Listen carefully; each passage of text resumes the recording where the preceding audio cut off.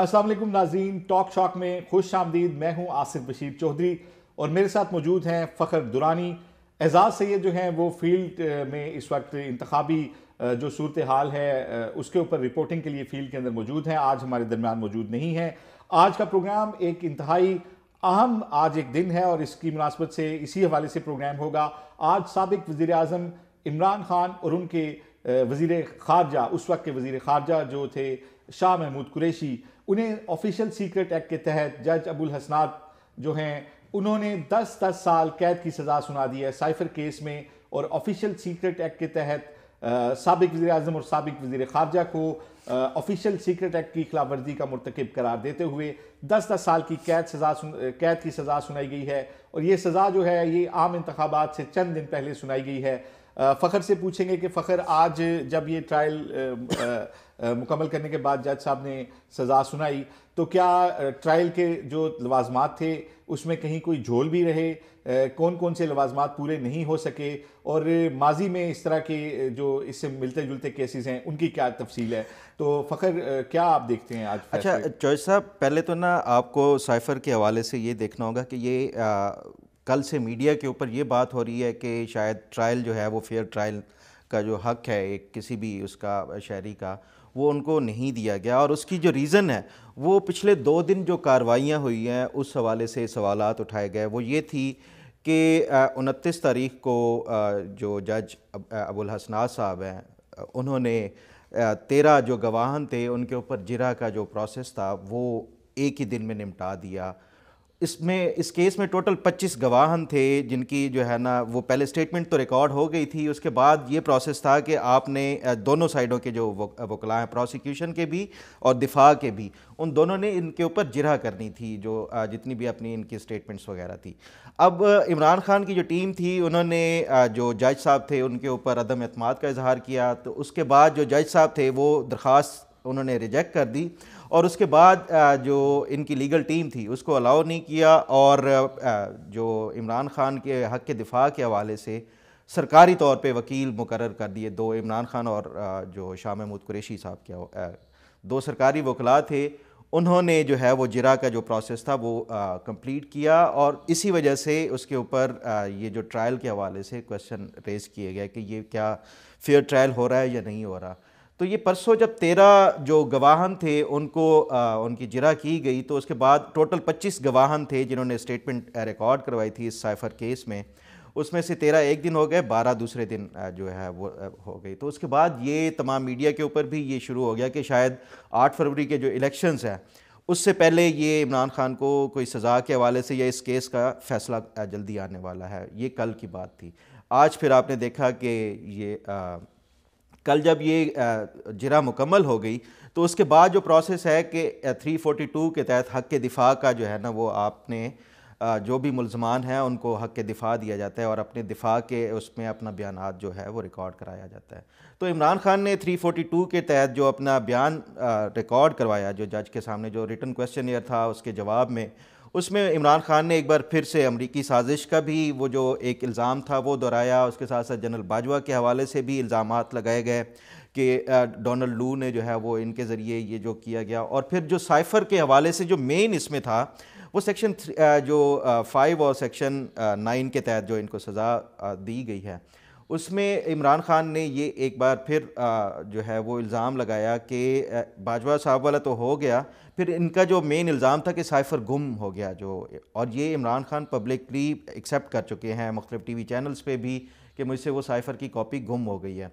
तो उस पर जो है इन्होंने अपने उसमें दिफा में ये कहा कि जो साइफ़र की कॉपी है, वो मेरे ए जो जो मिलिट्री के आपके पीछे वो होते हैं, वो उन, उन्होंने जनरल बाजवा के कहने पे गुम की है। और साथ ही ये इल्ज़ाम लगाया कि मिलिट्री सेक्रेटरी ने जो है वो इसमें गुमशुदगी में जो है या वो ज़िम्मेदार है इस गुमशुदगी का। अब इसमें मैं आपको बताता हूँ चौह साहब, कि ये जो इमरान खान ने इल्ज़ाम लगाया है कि मिलिट्री सेक्रेटरी जो है ज़िम्मेदार है इसका जो प्राइम मिनिस्टर है या प्रेसिडेंट है, उसके आपके जो रूल्स ऑफ़ बिज़नेस हैं उनमें ज़िम्मेदारियाँ जो है वो डिवाइड की गई हैं मिलिट्री सेक्रेटरी की भी और प्रिंसिपल सेक्रेटरी की भी, जो प्राइम मिनिस्टर का होता है। जो मिलिट्री सेक्रेटरी की ज़िम्मेदारियाँ हैं रूल्स ऑफ़ बिज़नेस में, वो ये है कि वो जो इन हाउस जो प्राइम मिनिस्टर हाउस में जो भी उसकी इटनरी है, उसके अलावा जो एंटरटेनमेंट के हवाले से कोई गेस्ट आ रहे हैं, उनके हवाले से बाकी जो इमरान खान की अपॉइंटमेंट्स होती हैं, जो मुलाकातें हैं, वो तमाम तर जो ज़िम्मेदारी है, वो होती है मिलिट्री सेक्रेटरी की। जो प्रिंसिपल सेक्रेटरी होता है प्राइम मिनिस्टर का ऑफिशियल जो वर्क से रिलेटेड जो काम से रिलेटेड जितनी भी जिम्मेदारियाँ होती हैं वो प्रिंसिपल सेक्रेटरी की होती हैं यानी आज़म खान की होती हैं। तो इमरान खान ने जो अपना ये थ्री उसमें फोर्टी टू के तहत जो अपना बयान रिकॉर्ड कराया उसमें उन्होंने प्रिंसिप जो प्रिंसिपल सेक्रेटरी की बजाय मिलिट्री सेक्रेटरी के ऊपर इल्ज़ाम लगाया। तो मेरा ख्याल है अगर फैक्ट्स के ऊपर बात करें तो ये शायद वो ना हो। हाँ अगर जो प्रोसीजर है या जो प्रोसेस था वो उसके ऊपर कोई क्वेश्चन रेज हो सकते हैं। मेरिट ऑफ़ द केस पे अगर जब हम बात करेंगे तो उसमें आपको अब मैं बताऊँ कि ये जो साइफर बेसिकली होता क्या है ये एक सर फ़खर इस पे बहस पे जाने से पहले मैं थोड़ी सी केस के वाले से आपसे बात करना चाह रहा हूँ। हम्म। मुझे ये बताएँ कि कल रात साढ़े ग्यारह बजे तक समात हुई। हम्म। और क्या ज़रूरत थी इतनी लेट गए तक समात करने की? क्यों अदालत को इतना हेस था? कोई नहीं डेली बेस पे समात हो रही है। तो जो टाइमिंग होती हैं कोर्ट्स की चलें एक बजे तक होती हैं तो आप दो तीन बजे तक कर लें सुबह नौ से। हम्म। और इसको एक मनतकी अंजाम पर रूटीन में क्या ये कहीं से अहकाम थे? या ये जज का परसेप्शन था कि इसने इलेक्शन डे से पहले जो है वो सज़ा देनी है? इसको रूटीन में क्यों नहीं होने दिया गया? चौधरी साहब अगर इसको इस हिसाब से देखा जाए तो वाकई लगता है कि बड़ी जल्द, जल्दबाजी की गई है। लेकिन आप ना इसका माजी देखें, ये कब से शुरू हुआ? ये जो इंडाइटमेंट इमरान खान के ऊपर जो फ़र्द जुर्म आयद होनी थी, वो 22 अक्टूबर 2023 को होनी थी। इमरान खान ने चैलेंज कर दिया और वो जो इंडाइटमेंट के हवाले से वो मामला लटक गया एक बार।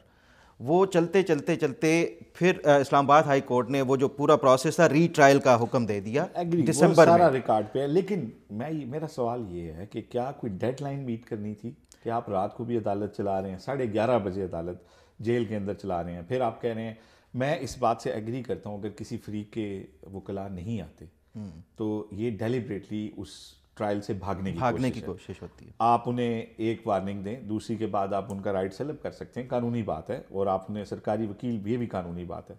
लेकिन ये क्या बात है कि आप रात साढ़े ग्यारह बजे तक चलाएँ फिर आप 342 का बयान एक मुलजिम नहीं दे रहा अच्छा कुछ वकला कह रहे हैं अंबायर आ गए हैं हमें बुला तो क्या कोई डेडलाइन मीट करनी थी कि इतनी हेस्ट में किया है? मेरा ख्याल है कि ये ये जो इनडिसेंट हेस्ट वाली बात है ना, ये एक क्वेश्चन रेज होता है और ये शायद आगे जाके जो हाई कोर्ट लेवल पे, जो अपील पे ये इसको डैमेज भी कर सकते हैं इस केस को। लेकिन वैसे अगर देखा जाए मेरिट ऑफ़ द केस भी और ओवरऑल जो स्पीड ऑफ़ द केस की आप जो बात कर रहे हैं, मेरा नहीं ख्याल कि यही सिर्फ़ ये पिछले दो दिनों में जो एक तेज़ी दिखाई गई है, उसकी वजह से एक मशकूक बनाया गया मामला। अदरवाइज़ तो आप देखें, ये पिछले चार महीने से लटकता आ रहा है। उसमें कोई राय नहीं है, लेकिन देखें इमरान खान तो ये भी कह चुके हैं कि मुझे इलेक्शन से पहले सज़ा होनी है फ़लाँ टाक शो में ये बात हो गई है फ़लाँ ने ये कह दिया वो सब अपनी जगह है। लेकिन अगर एक दो दिन इसमें मजीद गुजर जाते और एक हाँ बिल्कुल। नहीं इससे मैं अग्री करता हूँ आपसे। इससे बिल्कुल टोटली अच्छा अब दूसरे उस पर आ जाते हैं। देखें नौ मई को सिर्फ़ गिरफ्तारी हुई थी सज़ा नहीं हुई थी। तो आप देखें कि पाकिस्तान के अंदर तूलो अर्ज़ में जो सिलसिला हुआ जो अटैक्स हुए वो सारा। आज आप देखें कि फ़ैसला आए हुए कितने घंटे हो चुके हैं। और मैंने खुद फिटनेस किया बड़ी शाहराहों के ऊपर जाके। मैं मरी रोड के ऊपर भी गया। मैंने कहा, शायद कोई लोग बाहर निकलें। खान साहब को आज सज़ा हुई है। उनके वजी खारजा को सज़ा और बड़े संगीन इल्ज़ाम सीक्रेट एक्ट के तहत हुई है। ऑफिशियल सीक्रेट एक्ट के तहत। तो मुझे कोई लोगों लोग नज़र नहीं आए। पार्टी का कोई झंडा नज़र नहीं आया। यानी कि लोग, इसका मतलब है कि लोग डरे हुए हैं। और वो, उन्हें पता है कि अगर बाहर आएँगे तो इसका कॉन्सिक्वेंस होगा। तो आज, पहले तो गिरफ्तारी पे इतना वो शोर होगा, हुआ था, लेकिन आज जब सज़ा हुई है तो आज रोडों पे नहीं आए लोग? उसका मेरा ख्याल है कि जो आप, वही मैं कल कल से जो एक फ़िज़ा बनाई गई थी ना तो उसका मेरा ख्याल है कि ये एक इम्पैक्ट पड़ा है, जिसकी वजह से आज लोग शायद वो बाहर नहीं निकले। लोग ये एक्सपेक्ट कर रहे थे, बल्कि लोग क्या, इमरान खान की जो अपनी बहन है, अलीमा खान, उन्होंने मीडिया से बात करते हुए ये बात की कि हम तो ये सोच रहे थे कि, और हम, हमें शायद यही पता था कि इमरान खान को सज़ाए मौत दी जाएगी। लेकिन ये जो है वो दस साल की सज़ा दी गई है। तो एक तो ये हो सकता है कि एक्सपेक्टेड था, नतीजा क्या आना है, इसका फ़ैसला क्या आना है? और दूसरा ये कि जो एक्सपेक्ट कर रहे थे, शायद उससे बिलो था, इस वजह से जो है लोगों का वो रिएक्शन और तीसरा, ये पीटीआई के सोशल मीडिया के ऊपर भी ये कल से पैगाम जो कि मैं समझता हूँ कि एक अच्छी वो थी, वो उन्होंने कहा कि ये आपको, जो आपकी अट्रैक्शन है, या जो वो उससे वो डाइवर्ट करना चाह रहे हैं इनसे इलेक्शन से।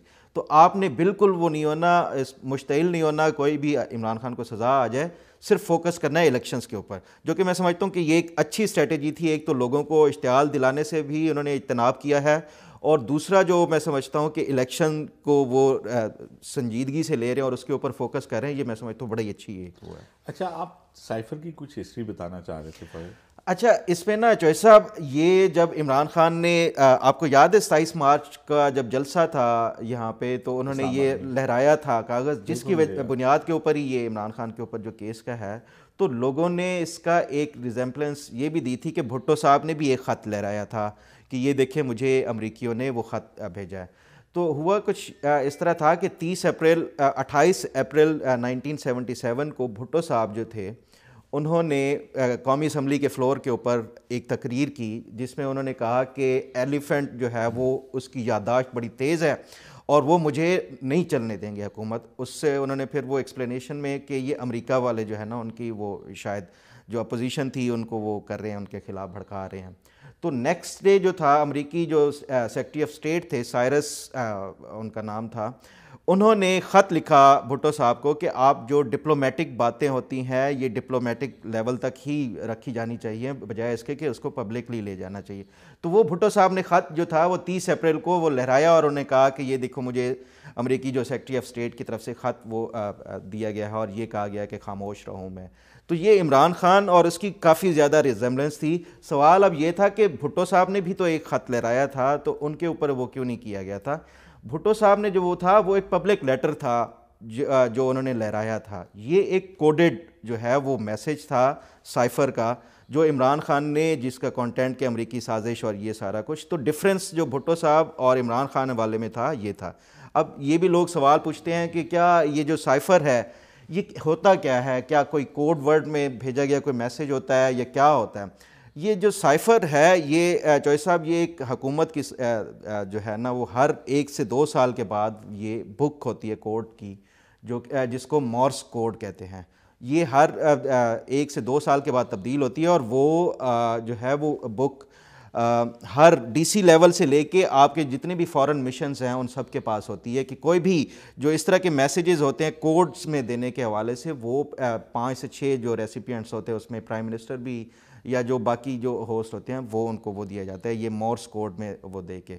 और ये ये सीक्रेट ही होते हैं कि कोड आपका अगर एक दफ़ा कोई रिवील हो जाए तो उससे आपकी जो पूरी ओवरऑल कम्युनिकेशन जो है ना सिर्फ़ ये नहीं कि एक एम्बेसी की आपकी पूरी गवर्नमेंट लेवल की जो कोर्ट्स के थ्रू जो कम्युनिकेशन होती है वो इससे इसमें फ़खर मैं भी आपको एक दो चीज़ें ऐड करता हूँ। आपको एक दफ़ा मैंने 2015 में यहाँ पे एक स्टोरी की थी जियो टीवी के लिए और उसमें मैंने बताया था कि किस तरह हमें जो है, एक मुल्क ने जो है ना, वो फैक्स मशीनें गिफ्ट की थी हम्म। और हमने वो फैक्स मशीनें अल्लाह के फजल से अपने बड़े बड़े जो डिप्लोमेटिक मिशंस थे बाहर यूरोप में यूके में भी और डिफरेंट जगहों पे वो भेज दी और कुछ फॉरेन ऑफ़िस में रख ली हम्म। उनके अंदर एक सॉफ्टवेयर इंस्टॉल था हम्म।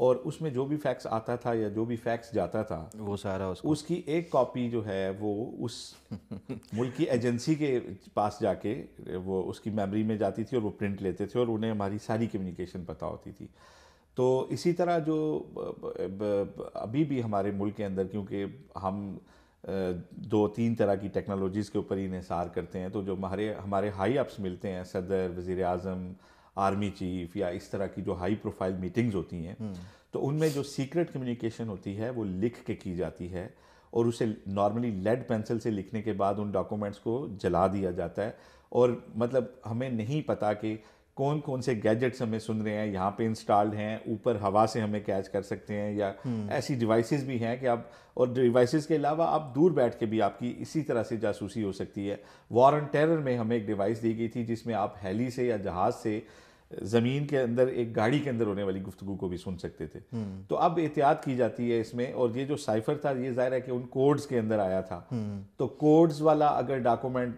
लीक कोड हो तो हम आपकी सारी वो लैंग्वेज जो है कोड वाली वो जो है लीक होने से आपकी सारी सीक्रेसी Compromise हो हो जाती सकती है। और मेरा ख्याल है अब एस के तहत ये लेटर गुम होने के बाद शायद अब कोड्स चेंज भी कर दिए नहीं वो वैसे नॉर्मली हर एक से दो साल के बाद चेंज होते हैं लेकिन इसके बाद तो डेफिनेटली जो है ना वो बिल्कुल ट्रस्ट हो गया हमारा वो सिक्योरिटी का ब्रीच है एक तरह से कि उसमें एक लेटर ही गुम है एक डॉक्यूमेंट गुम है तो वो लैंग्वेज भी हमारे वो कोड्स भी ट्रस्ट वर्दी वो अब नहीं रहे अब उनके ऊपर आप मज़ीद इसार नहीं कर सकते। हम्म। तो खैर हमने अवामी रिएक्शन की तो हम बात कर रहे हैं कि फौरी तौर पे तो कोई अवामी रिएक्शन नहीं आया कि फ़ैसला सुनते ही कोई मैसेज के अंदर से लोग उठते और बाहर आ जाते और कोई पुरमन या मुश्तिल कोई ऐसा कुछ होता कुछ भी नहीं हुआ। नहीं हुआ। तो फ़खर इलेक्शन के ऊपर आप इसका क्या असर देखते हैं? क्या इसके मतलब इसका पॉजिटिव असर होगा नेगेटिव होगा वोटर पीटीआई का मजीद चार्ज होगा या डीमोरलाइज होकर बाहर नहीं निकलेगा, क्या होगा? मेरा ख्याल है कि इसका जो है ना इस फैसले से पीटीआई का जो वोटर है ना, उसके जहन के ऊपर कोई असर नहीं पड़ा। वो ना डीमोरलाइज हो रहा है और ना ही उससे जो है ना ये, अगर तो उसने निकलने का ये सोच लिया है कि मैंने इलेक्शन वाले दिन निकलना है तो फिर ये फैसले हों या कोई भी हो, वो निकलेंगे। अगर तो वो मोबिलाइज करने के हवाले से कोई एक्टिवली पीटीआई भी कोई काम नहीं कर रही तो फिर मेरा ख्याल है कि इससे शायद इम्पैक्ट पड़ेगा। और मुझे ऐसे लग रहा है, जो कॉल दी थी इन्होंने, जो संडे को इमरान खान ने रैली के हवाले से कि बाहर निकले हैं, जो इनके जितने भी उम्मीदवार थे, उनमें से कोई इस तरह इम्प्रेसिव वो नहीं, सिवाय इक्का दुक्का जो एक वायलेंस वाली वो आई हैं। उसके अलावा मैं भी इस्लामाबाद के भी देखा, मुख्तलिफ़ सड़कों पर जाके कोई नहीं इस तरह मैंने देखी। रावलपिंडी की भी जो सोशल मीडिया के ऊपर कोई चल रही थी, वो कोई इतनी ज़्यादा इम्प्रेसिव वो नहीं थी। तो शायद वो मुझे लग रहा है कि एक जो एलिमेंट ऑफ़ फियर है वो शायद है पीटीआई के वोटर के फखर इसमें दो तरह के लोग हैं ना एक तो हार्ड कोर एक्टिविस्ट है पीटीआई का वो तो शायद इससे मजीद चार्ज होगा चार्ज होगा बिल्कुल लेकिन जो एक आम वोटर या स्पोर्टर होता है हम्म। या एक खामोश अक्सरियत होती है वो मेरा ख्याल है इससे ये तासर लेगी बड़ी तादाद में कि क्योंकि खान साहब की बारी नहीं है हम्म। इनको नहीं आने दिया जाएगा हाँ वो तो, तो वो शायद हो गया तो बाहर नहीं निकलेगा वोट करने के लिए। इसका शायद इम्पैक्ट एक ये हो। ये पड़ेगा जो हार्ड कोर स्पोर्टर है उसने तो सुबह पहुँच जाना है सबसे पहले वोट डालना है कि मैंने ये डालना ही डालना है। हम्म। लेकिन जो मैसेज के अंदर आम एक खामोश शख्सियत होती है जो बहुत बड़ी तादाद में होती है। मेरा ख्याल है वो इसका ये तासर लेगी कि वो एक उसमें जो अगर खान साहब को वोट करना भी चाह रहे हैं तो उनके अंदर एक मायूसी पैदा होगी कि यार जो है बारी तो है नहीं तो मेरा वोट तो बेकार जाया जाएगा। तो अच्छा फ़खर अब इसके बाद अब आप क्या देखते हैं अब मुल्की सियासत के ऊपर इसके क्या असरात होंगे? इंतबात की मैं बात नहीं कर रहा। मैं अब मुल्की सियासत की बात कर रहा हूँ। आज मैं वो पुराने क्लिप्स देख रहा था जब 28 जुलाई 2017 को एवन फ़ील्ड में जब नवाज़ शरीफ को सजा दी नहीं सुप्रीम कोर्ट में जब डिस्कालीफाई हुए थे तो उसके क्लिप्स भी थे। फिर जब एवन फ़ील्ड के अंदर उन्हें दस साल कैद की हुई और वो दस मिलियन पाउंड जुर्माना हुआ वो वो भी मैं देख रहा था और उसमें जो है बताया जा रहा था कि सबक नाअहल वज़ी अजम हाँ। को दस साल कैद होगी और वो तो क्या अब अब भी लोग यही समझते हैं कि कोर्ट जो है और ये सारा जो सिस्टम है वो एक इसने प्रॉपर पूरी चीज़ें करके किया या उसी तरह इलेक्शन से पहले एक सज़ा और एक फ़ैसला और ये क्या समझते हैं आप जज साहब मैंने ना 16 अक्टूबर 2023 को ट्वीट बल्कि मैंने आज उसको वो भी किया ये ट्वीट किया हुआ था कि ये जो मेरिट्स ऑफ़ द केस हैं साइफ़र के हवाले से ये इंडाइटमेंट हो गई क्योंकि उससे नेक्स्ट डे इंडाइटमेंट होनी थी इमरान खान की, जो फिर ये इस्लामाबाद हाई कोर्ट चले गए थे और फिर इस्लामाबाद हाई कोर्ट ने रीट्रायल का वो किया था। मेरिट ऑफ़ द केस को देखा जाए ना तो ये इमरान खान की सज़ा बनती थी और दस साल ही बनती थी। जो मैंने उसमें लिखा भी था कि ये दस साल तक इमरान खान को सज़ा मेरिट के ऊपर अगर ये केस चला गया। लेकिन ये कि आप ये जिस तरह कह रहे हैं, मुझे नहीं लगता कि इस तरह जो है ना, आगे जाके ये अब एंड पे आके इन्होंने प्रोसिक्यूशन ने या पता नहीं किसने ये केस को ख़राब किया या एक इम्प्रेशन ऐसा दिया गया है कि ये एक इंडिसेंट हेस्ट के ज़रिए इसको सज़ा दी गई है और इसका इमरान खान फ़ायदा उठाएगा आगे जो इस्लामाबाद हाई कोर्ट में या जो हाई कोर्ट लेवल पे जब ये इसके अपील में जाएँगे। तो मेरा ख्याल है कि ये इसको इन्होंने ये बहुत बड़ी ज़्यादती की है इस केस के हवाले से और मेरिट ऑफ़ द केस के ऊपर। इसी तरह का एक पहले भी हाई कोर्ट से फैसला आ चुका है आप तोशा खाना वाले तोशा खाना में। हम्म। तो मेरा ख्याल है ये एक और मिसाल थी इसी तरह हेस में सज़ा सुनाने की। लेकिन फ़खर जो केस 189 मिलियन पाउंड्स वाला है वो उस अब ये तीनों चारों केस आपको पता है साथ साथ ही फैसले एक्सपेक्टेड हैं। हम्म। वो केस अगर उसमें भी कोई इस तरह की लकूने ना छोड़ेगे तो वो यकीन एक सख्त केस वो एक सख्त केस है। और उसमें देखते हैं कि वो उसको किस तरह से मंतकी अंजाम तक पहुँचाया जाता है। लेकिन आज जो आज का दिन है, ये पाकिस्तान की सियासी तारीख में इस लिहाज से इसको याद रखा जाएगा कि एक सबक वज़ी अजम जो हैं, उनको किस तरीके से उनका ट्रायल हुआ, किस तरीके से उनकी हुकूमत गई, उसके बाद जो है आज जो सज़ा हुई। इमरान खान ने जो, का मैं आपको बता दूँ कि उनका जो रिएक्शन था वो पहले तो शुरू में तो अदालती कार्रवाई में बहुत जोशो खरोश से हिस्सा लेते थे लेकिन अब शायद वो मायूस हो चुके हैं वो इसका इजहार भी कर चुके हैं वो मुख्तलिफ़ कैमरों की तरफ़ देख के उनकी बातें और फिर फैमिली से और मीडिया से मुलाकात की कोशिश करना और अदालती पर उसके अंदर वो हिस्सा नहीं लेते। गो कि आज उन्होंने 342 का बयान भी दिया है लेकिन इससे पहले वो जब उनसे पुलिस जाती है तफ्तीश करने या अदालत में प्रोसी प्रोसीडिंग्स हो रही होती हैं और उनसे कुछ सवाल जवाब किए जाते हैं तो वो भरमला कहते हैं कि मुझे इस अदालत से किसी इंसाफ की तो नहीं है। और वो मेरा ख्याल है वो खुद भी अब बेजार जो है थोड़े बेजार भी थे और अब थोड़े फ्रस्ट्रेट भी नज़र आया आखिरी दिनों में। जिस तरीके से सरकारी वकील मिलने के ऊपर वो सीख पा हुए शाह महमूद कुरेशी बहुत ज़्यादा फ़ाइल, जो फ़ाइल उठा के वो फेंक दी और अब भी उन्होंने कहा कि मैं बयान ही नहीं देता 342 का। तो वो शायद बहुत ज़्यादा चिड़े हुए में दिखाई दे रहे हैं फ्रस्ट्रेट दिखाई दे रहे हैं कि वो एक्सपेक्ट नहीं करते थे कि उनको इस तरीके से सजा हुई। तो खैर अब देखना ये है कि फ़खर कुछ और कहना चाहिए बस। नाजरीन आज का शो आपने देखा। इमरान खान जो हैं उनकी सियासी ज़िंदगी का एक अहम दिन। आज किस तरीके से वो आए उन्हें अरूज मिला किस तरीके से उन्होंने बड़े बड़े जलसे किए किस तरीके से वो इकतदार में आए मुंतब हुकूमत के ख़िलाफ़। पैंतीस पंक्चर की बात की और बाद में फिर उन्होंने कहा कि ये तो सियासी बात थी। और अब उन अब अब अब उनके साथ जो कुछ हो रहा है उसमें भी आज एक अहम दिन था। और अब जो अदालत ने उन्हें दस साल की सज़ा सुनाई है और सीक्रेट एक्ट के तहत सुनाई है तो अब देखना ये है कि ये जो उनके ऊपर, उनकी पार्टी के ऊपर जो एक शदीद बहरान है इसके इसका इलेक्शन में क्या आउटकम निकलता है और वो इससे बाहर आने के लिए क्या स्ट्रेटजी इख्तियार करते हैं। प्रोग्राम आपको अच्छा लगा हो या बुरा लगा हो, दोनों सूरतों में ज़रूर आप कमेंट्स भी कीजिएगा। और अगर बरह रास्त हमें कुछ बताना चाहते हैं तो आप please talk shock triple seven eight Gmail पर हमें लिख भी सकते हैं। मुझे और फ़खर को इजाज़त दीजिए। बहुत शुक्रिया।